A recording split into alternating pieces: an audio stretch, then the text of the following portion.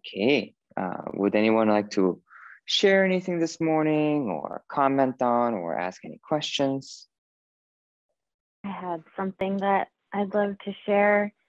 I was playing with finding my home in the different postures and exercises, and um, it felt like somehow that really did something for me. Like it, it engaged, I think I was feeling my whole body. Um, and it's a little bit of a different frame than what if I had to be in this posture forever, which felt a little bit more like, I don't know, there was an edge of fear. And finding my home felt like, uh, how can I be comfortable? How can I enjoy this? I think it brought more enjoyment. And um, I I felt like actually I could really feel the the um, constriction in my breath that was keeping me from feeling at home, and um, and then you know realized my attention was going there to where my breath was caught up, and then was remembering the feedback you had given me in the last class about just feeling the light behind me, behind my heart and inside of me. And it felt like that started to kind of ease it. And then, but also just wasn't quite big enough. Um, so I started to feel like, what if I'm the universe, you know, and um, and I'm this little point in the universe, and the breath really let go, and it just it felt like the portal to this whole other uh, experience of the gold series today so wanted to share that and thank you for the the feedback about feeling the light behind me and then incorporating that and feeling it radiating because it felt like that really shifted things for me mm. you're welcome yeah as trying to work just with yourself it doesn't really work, right? It's like it shows that we're really part of the really the greater universe. You know, that's this oneness that, and it's actually one of the reasons why uh, just working on the body part doesn't work. Just like you experience, it's actually one of the reasons why, right? Like the light comes in, transforms your body, and then the light goes back out and then transforms the whole universe. Uh, and then you just rest in that. Uh, but it's an entire marriage or dance with the universe itself. And you can't actually solve a localized problem, right? It's kind of like trying to solve, um, let's say, for instance, a neck kink without considering the rest of your body. And, you know, like if you study the body, you find out that actually most neck problems are actually in your tailbone. Uh, and if you don't consider that, then you can't actually resolve it. And but then, you know, it's kind of like I heard someone say, and I kind of really like this, the the, the fish tank analogy, uh, where basically, you know, if a fish is sick, then you know do you try and feed the fish antibiotics and you know uh, try and fix the fish or do you clean out the tank? That probably made the fish uh, not probably but that made the fish sick. If the fish tank is clean and has no problems you know then you need to look at the fish right? And so it's kind of like you sharing kind of just brings back of how oftentimes when we're trying to solve something we're actually try and solve it, uh, solve the problem in the vacuum, in a vacuum, uh, outside the context of all that we are. Um, and if, and this is, I think, to me, what excites me, really kind of what excites me. If you had to realize that you're the whole universe for it to work, isn't that an interesting realization? Mm. then feels like a lot of responsibility. Oh, geez, responsibility. I wasn't even thinking that. I was thinking in terms of amount of freedom and joy and mm. um, what responsibility? responsibility, you know, uh, if you want to look at a universe size fear of things could go wrong, then you might have to look at responsibility, right? But the point I'm trying to make here is, is that that how small do we see ourselves?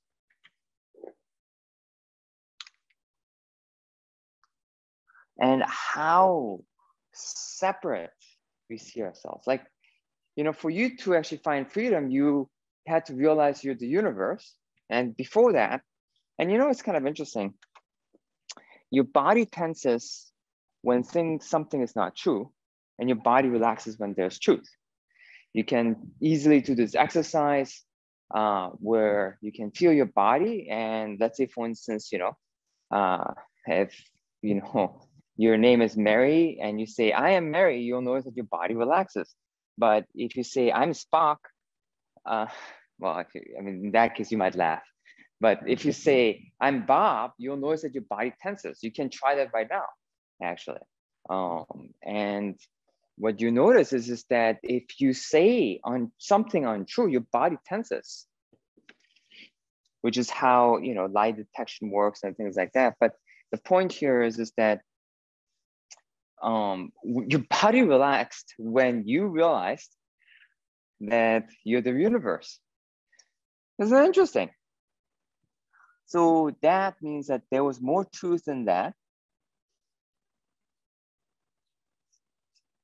than whatever belief you had before.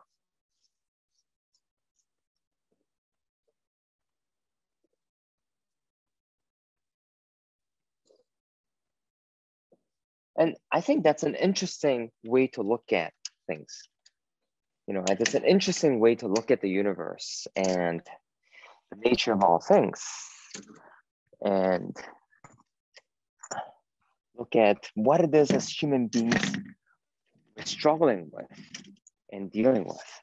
Because, you know, all our suffering comes from feeling separated from all that you know, from a division. It comes from fear. It comes from, you know, not being honest about who we are. It comes from a sense of,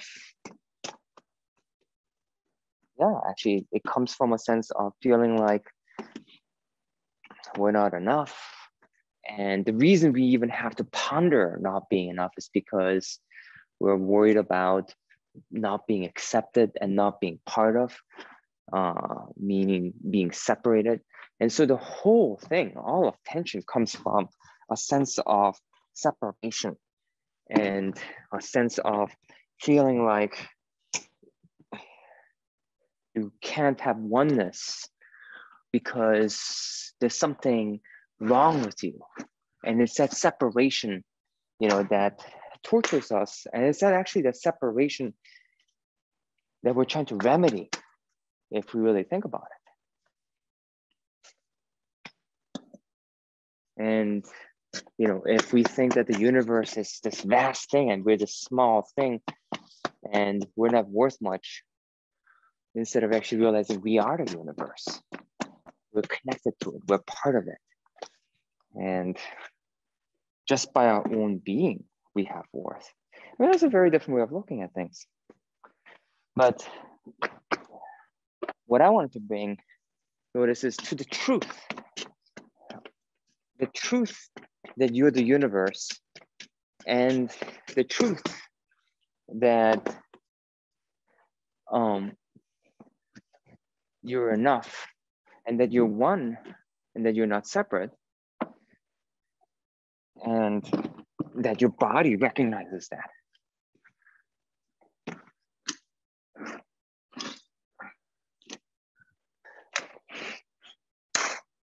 Anyways, and so I just wanted to just bring mm-hmm. notice to that.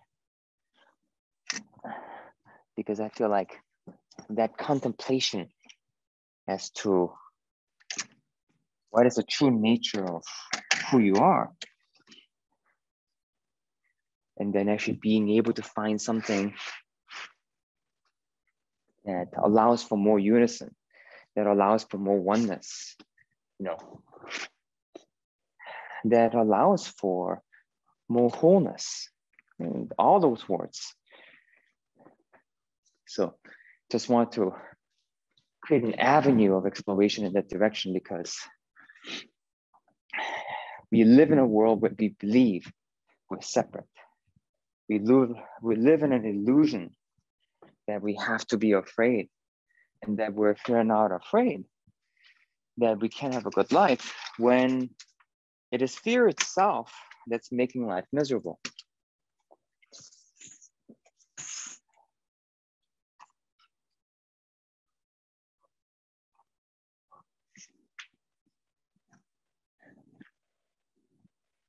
Thank you, Master Kim. I feel like what you said is making the felt experience more concrete. And I can feel my mind kind of toggling back and forth between the mind coming in and, and feeling the fear and then going back to the felt experience, which I really appreciated the you know the, the piece that you said about actually that that's more true you know that my body relaxed because because it was true. It's not an idea it's an experience.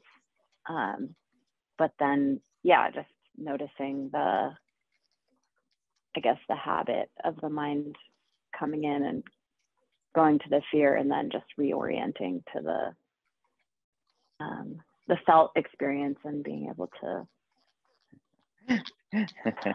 Breathe. you know, let me just say one more thing because we're dealing with fear. So, um, someone might make the argument what if I'm delusional and I'm happy because I'm delusional? You know, and, and I've heard that argument before. I find it to be a very interesting argument. Um, and so, karma, that if we uh, discuss the concept of karma, it's actually basically a pattern we're not aware of that's bringing us suffering that we're trying to actually uh, rise above. Would you agree with that? Definitely. Okay, very good. So that, that was a very strong uh, agreement. So thank you. I appreciate that. So, uh, but then what that means is, is that there's a built-in concept about learning. So it's kind of interesting. So enlightenment uh, we think of it as a static thing, maybe we should call it an enlighteningment. So it's not so static, but basically enlightenment means that there's enough light for you to be able to see clearly. At least, you know, that's how I'm defining it. so it doesn't become too conceptual. And so if let's say, for instance, you know, uh, the knowledge comes when you need it, then, or you have access to it, then that's the same as having knowledge to all of the universe, right? So that doesn't mean that you need to know everything. That means that you just need to access whatever it is um, when the time is appropriate. Would you say from, from a practical perspective? It has the same effect? Yeah, so, which is what we call learning. So we just need to get better at learning. And so let's say, for instance, you had a truth, your body relaxed, then there's something true about it because otherwise your body could have not relaxed. So maybe parts of it wasn't entirely true. But then why do we need to be disappointed about the whole thing? That's, I think, what we call throwing out the baby with the bathwater. So in that case, isn't all we need to do just keep that which is true and then just let go of that which is not true which is called learning and then we just go further into the light.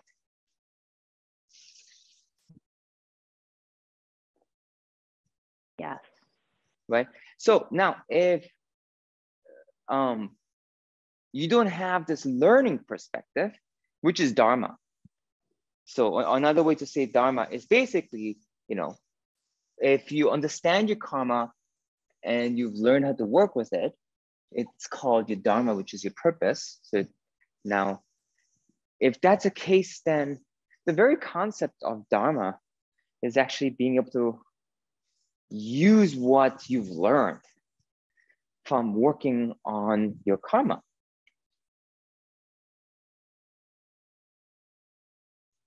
So it's like a, there's a very concrete learning concept in there.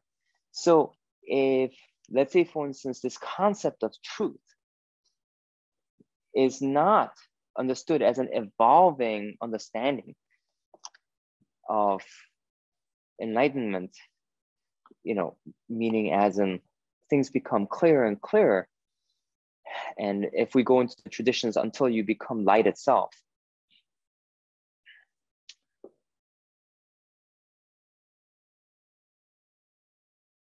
then of course there will be fear. Because there's no safety. In that case, of course, you'd have to give the power to fear and be constantly afraid until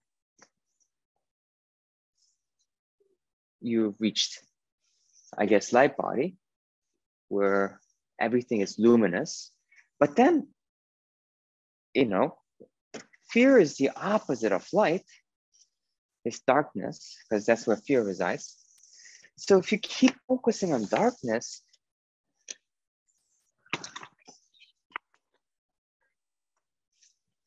how can you ever find light? I mean, you find more darkness. So you learn more about darkness the more darkness you seek, because we get what we seek. But if we seek light, then we get more and more light and we release more and more illusion. And so if we look at fear outside the concept of learning, And so now, as you experience light, you'll probably expose more areas of darkness. So once you come across that, you focus on more light. Then you keep going in that direction.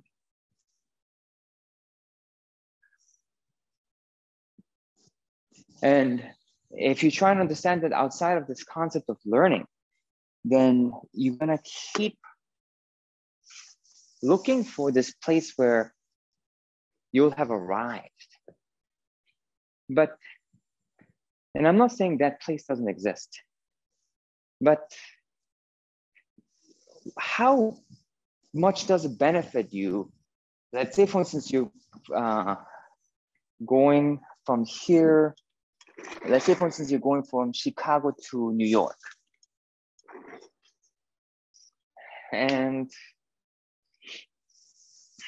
how much does it benefit you for you to wonder whether you have arrived?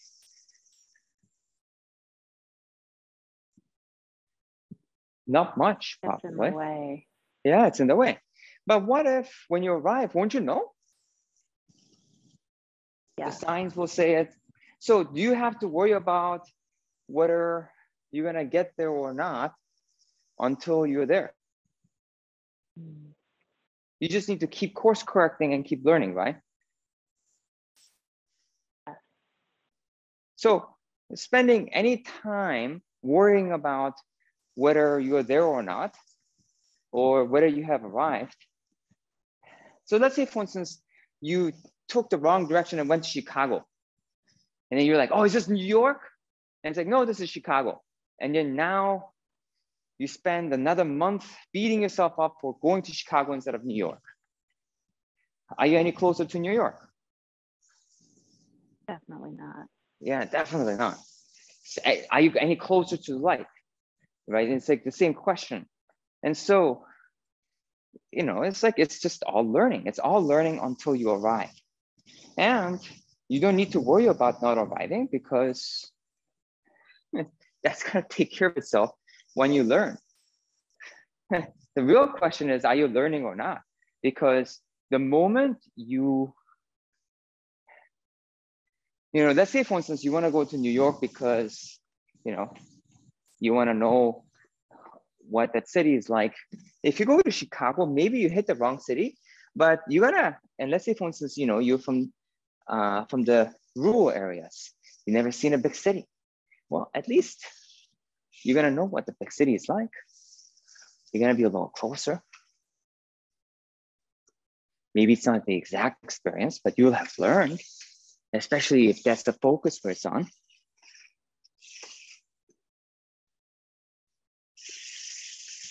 And so trying to understand this and get to this place that you're trying to get to from a place of fear. It's like that can take you further and further away and delay and further and further because the only real question is, oh, what is there for me to learn from this? What I have not learned yet. And in order to do that, you need to know what you've already learned, what you already have. And that brings gratitude. Anyways, so I kind of just want to just draw this picture, you know, because I see very common people have this realization, have these great experiences. I'm the universe, which is the truth. And then they're like, oh, then go straight back. Who am I? Am I delusional? Yada, yada, yada. Uh, actually, you will never find out until you stay being the universe. And then once you stay being the universe, you're going to find out what it means to be the universe and you're going to have a lot of learning that comes from being the universe. But if you go like, if you wonder, it's kind of like you got to New York and then you're like, is this really New York?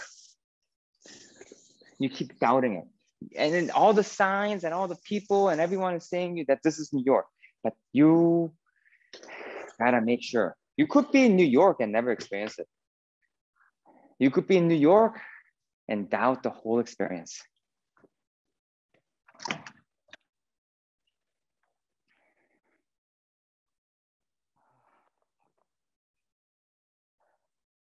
Thank you. I feel like that's a really clear end picture of, you know, if you stay in fear the whole time, then even if you get there, that that's what you end up with. And it feels like the alternative to that, you know, when you're talking about learning, it felt like another word for that would be grace, you know, like the just the process of it. Um, and seeing it as a process versus as a static thing and the uh, the ability that we have um, to learn from everything feels like grace. You know that's just built into the system that even if you're trying to go to new york and you go backwards and end up back in chicago you can still learn from that if that's your orientation. So, yeah, thank you so much for that bigger picture and those images, which feel like they really point the way. Mm-hmm. You know, I want to say that grace, you know, I think you could say that grace is second chance, right? Getting a second right. And so now I want to make sure like grace is not so difficult. So if you get to learn, that's a second chance, right? Yeah. And if you have the joy of learning,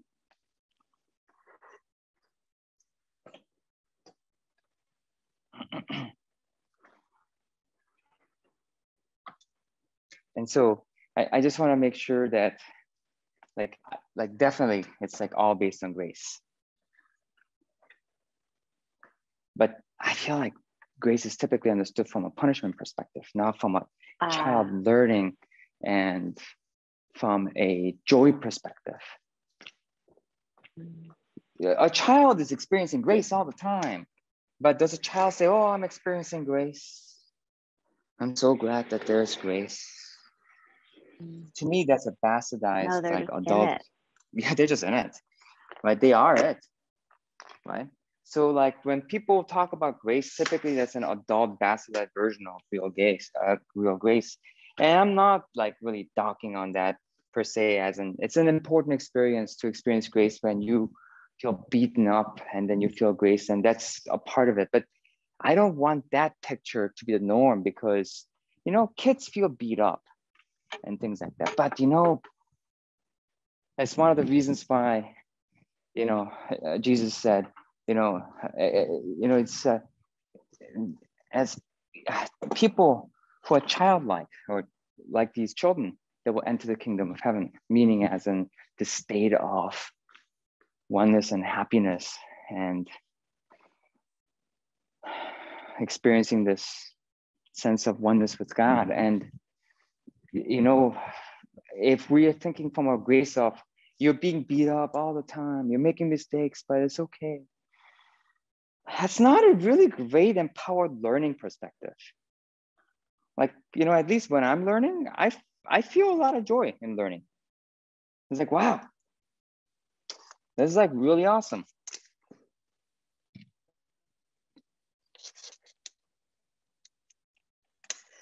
At least yeah, it's in, more it's more division if it's just the grace that comes out of punishment or doing yeah, something wrong. Yeah. And it doesn't it's not that we don't experience it from time to time, but if that is like the definition of grace, to me that's like that's terrible. It's like if that was like 80 to 90% of your life, I want the life that a child has where they get to play and they get to explore and they get to just be authentic and be themselves. And the definition, there are many traditions, but the definition of enlightenment, you know, that I learned um, was basically that there is a form of ultimate enlightenment, but practically speaking, when you are learning, there's no difference because basically you have the experience of realization from moment to moment. And actually, I find it to be very true. Basically, your brain stays in gamma. And you're basically learning how to train your brain to stay in gamma because you're continuously learning. But then the more learning you have, and so you, actually research shows that people who, you know, are good learners, not from a place of fear or from a perspective of performance, but people who just enjoy learning. You know, they found that people who are happy, uh, this is uh, actually in authentic happiness. It's a great, great book, but I believe Martin Seligman, um, and he talks about this. He talked about how the people who are happy are people who believe they can change. The people who are defensive are people who don't actually have the faith that they can change, which actually implies learning. And so, and those people don't even think about it. They don't even think, oh, I got to learn. It's not even a concept. They just adjust because they know they can change. Their identity, it's so fundamental in their identity. And so, you know, it's kind of like, so it's it's not a learning that's based on performance. So I gotta learn. It's not like, you know, I gotta be a student. No, it's actually just more like, oh, wow, this is really interesting. It's like, oh, I get to do this. Um, it's more from that perspective. And I kind of just want to just say that because I want, I feel like this, these pictures are so important. I feel like we're so beat up in life uh, often that the best picture that we can have is getting a little band-aid when we're beat up and you know, when you're a child, you can be playing and you're playing sports and then you fall. And then, you know, mommy comes along and puts a band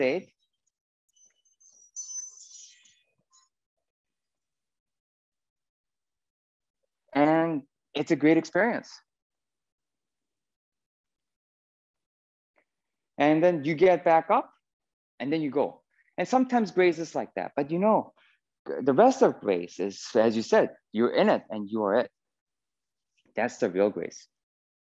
And I'd like you to have that kind of grace, not the other kind of grace where grace is seen as the moment where you scraped your knee and you have to put on the band-aid, the low moments. Grace that's so limiting. Uh, real grace is where it's joy, gratitude, just the just the, the stuff of life, where it's just overflowing. Um, anyways, okay.